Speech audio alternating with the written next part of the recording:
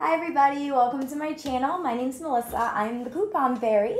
Uh, you might be wondering why I call myself that. Well, when I have extra coupon I don't need, I go ahead and leave it right next to the product so the next person can come along and be like, oh, what a wonderful treat. By the way, I thought this was going to be such a cool original name. No, there's like 20 people who have it. Anyways, let me show you my coupon book.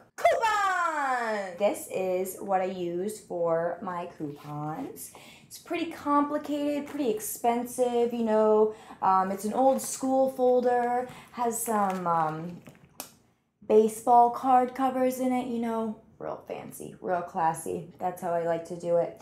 Um, so I have all my um, fast food stuff in here, just some like random stuff that doesn't fit in a real category.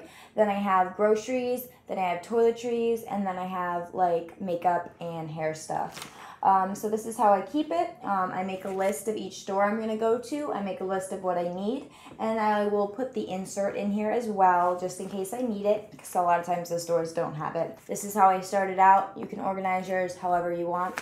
Oh, also, um, I just keep the ones that are going to expire first in the front. Like if these were hairspray coupons, I would have them all in one little sleeve. And then the ones that are going to expire first are going to be in the beginning and then so forth. So there we go. All right, we're going to start off first with my very first coupon trip. It was to Kmart. Um, with it, I had four coupons. I saved $11.91. And uh, let's get started with what I got.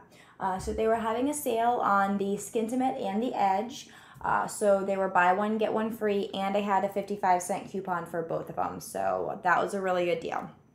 Then I had the buy one, get one, um, or basically it was two for 10 for the Pond's. So I got them each for $5. And then I also had a 55 uh, cent coupon for that. Um, the Color Silk Revlon, which is awesome. This is what I used to dye my hair. It was on sale for two for six. So they were only $3 each. Plus I had a 55 cent off coupon for that.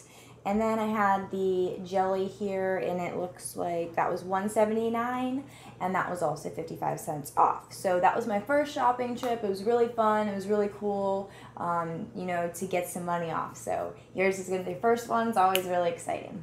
Um, so yeah, that's about it for my Kmart trip. If you have any questions about, um, you know, how I did it, uh, I did go ahead and walk in. I looked at their little pamphlet, saw the buy one get one deals. I also had coupons for some of those and quickly um, went in and got what I needed. Didn't have a list or anything, just went ahead and got um, what was on sale. So that was my first trip. Until next time, I'm the Coupon Fairie here to brighten your day with unexpected coupons. See you guys later.